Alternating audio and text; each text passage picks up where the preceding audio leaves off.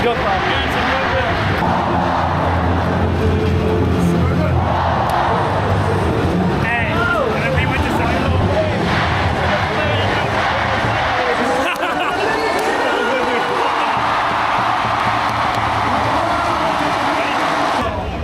손은 어땠어요?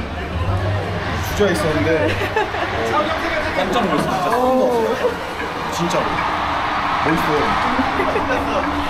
카데나 손은 어떠, 어떠셨나요? 아, 못 봤어요 여기서 밖에 나가길래 뭐야 너 자욱이 챙겨 앞으로 계속 자욱이 알겠지? 지혁 선수. 자욱이 형 어. 너 이겼어. 아유, 카데나 손은 어땠나요 오늘? 와 말이 필요해요 이거.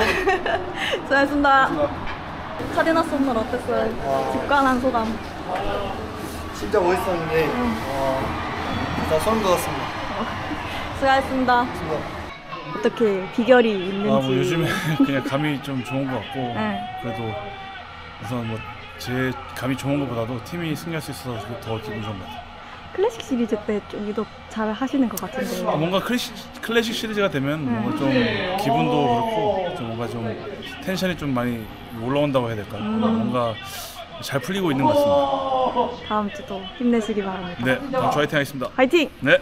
수고하셨습니다 마지막. W 뭐라 W 뭐라 이한 일로 와. 이한 일로 와. 딴줄 시키고 가 일로 와.